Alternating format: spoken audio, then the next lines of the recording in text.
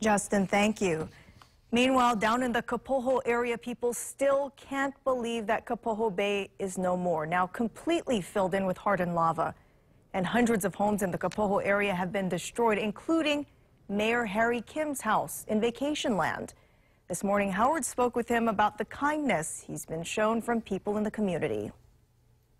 As I was standing there waiting and talking to people, you cannot believe the amount of people that came up to me and said how sorry they were that they heard I lost my place. These are people who lost a thousand times more than me.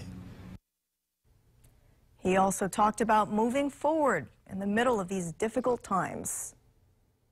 Nature creates. You know, naturally it hurts at the time of what you want to last forever for yourself. And that's to me natural. But if you take a look at this world and this earth and this island, uh, all the greatest thing of beauty was created by some change.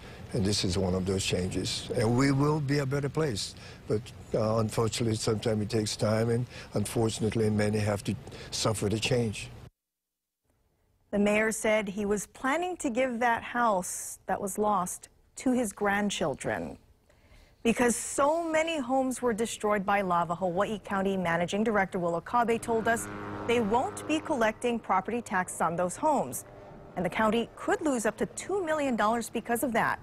So they're asking the council to consider a half percent increase to the general excise tax or GET to cover the county's overtime costs as well as lost revenue. Today I'm going to be going to the council meeting. We're going to try to, again, try to push for a 0.5% excise tax. But I think that uh, in this situation, we need to look at the whole island, what's happening, um, and it comes down to revenues. And we were told just about half an hour ago that the council members are still discussing the proposed GET increase behind closed doors in executive session. We will follow up and we will let you know what they decide to do. Many people in Lower Puna do not have power with lava destroying hundreds of power poles. If you have any questions for Helco, its customer care team will be at the Pahoa County Council office from 9.30 a.m. to 2 p.m. every Thursday this month. They'll answer questions on things like electrical safety, restoration, and customer accounts and billing. And make sure you stay with KHON2 on air and online as we continue to track this volcanic emergency.